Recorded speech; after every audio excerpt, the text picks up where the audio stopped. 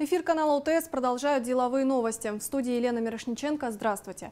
И начнем с цифры дня. Сумма долгов иностранных государств перед Россией достигает почти 40 миллиардов долларов. Это данные Минфина на 1 февраля. В сумму также входят и долги перед СССР.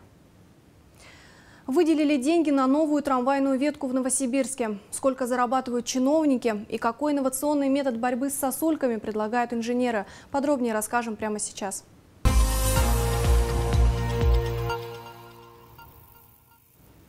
Банк России на втором заседании Совета директоров не стал менять ключевую ставку и допустил, что снизит ее в этом году, пишет российская газета.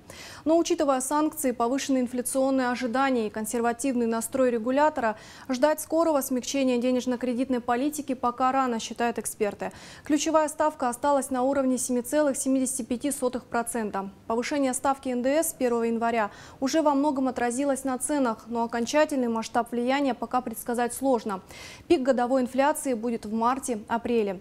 С учетом всех факторов Банк России все же снизил свой прогноз по инфляции в этом году с 5-5,5% до 4,7%. Регулятор по-прежнему ожидает, что годовая инфляция вернется к цели в 4% в первой половине 2020 года. Если ситуация в экономике не ухудшится, то Банк России, возможно, снизит ставку уже в этом году.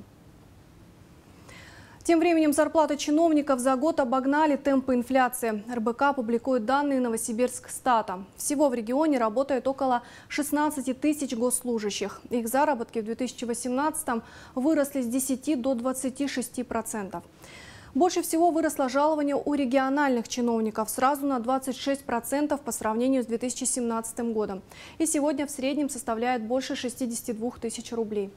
У федеральных, тех, кто работает в Новосибирской области, скромнее. На 10% рост и средний заработок 45,5 тысяч.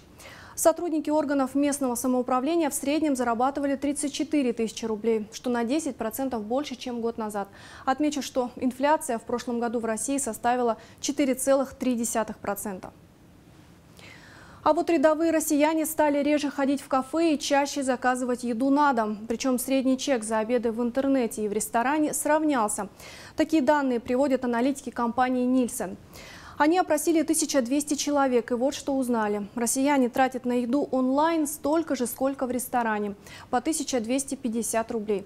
Хотя, по данным аналитиков РБК, за последние два года большая часть россиян стала сокращать расходы на питание, заказывать меньше еды и напитков и переходить на более дешевые заведения общепита.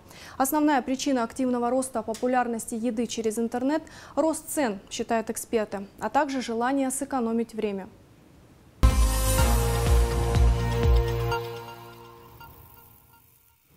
Новосибирская область стала единственным регионом Сибири, где по статистике за прошлый год наблюдается прирост мигрантов. Всего же по СФО убыль на 29 тысяч человек. Больше всего в Омской, Кемеровской областях и Алтайском крае. В сибирской столице за прошлый год стало на 8 тысяч мигрантов больше. При этом по статистике реже стали приезжать из Таджикистана и Узбекистана, а чаще из Казахстана. Также эксперты отмечают, что трудовая миграция снижается, а учебная уверенно растет. Увеличится в столице Сибири количество маршрутов. На строительство новой трамвайной ветки власти выделили 32 миллиона рублей, сообщает НГС. Она соединит станцию метро «Золотая Нива» и будущий автовокзал на Гусинобродском шоссе. Деньги пойдут только на проектно-изыскательские и работы по освобождению земельного участка, сообщает в Департаменте транспорта. Сейчас новое здание автовокзала на Гусинобродском шоссе строится. Его планируют запустить этой осенью. Систему госзакупок избавят от излишнего регулирования и упростят на всех этапах. Законопроект готовят в Министерстве финансов и рассчитывают его принять до конца года. Российская газета приводит слова директора Департамента бюджетной политики Минфина Татьяны Демидовой. В планах упростить планирование госзакупок, исключить неактуальные способы закупок, останутся только аукцион, конкурс и запрос котировок и максимально сократить сроки их проведения. Цитирую. Это будет комплексный законопроект. Он затронет все этапы закупочных процедур, начиная с планирования, заканчивая заключением и выполнением условий контракта. Основная задача – сделать процесс планирования закупок более гибким.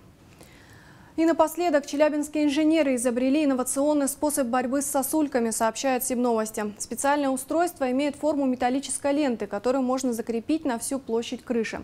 Благодаря нагреву снег будет мгновенно таять. Конструкция не горит, не ломается и управляется при помощи гаджетов, а также тратит мало энергии.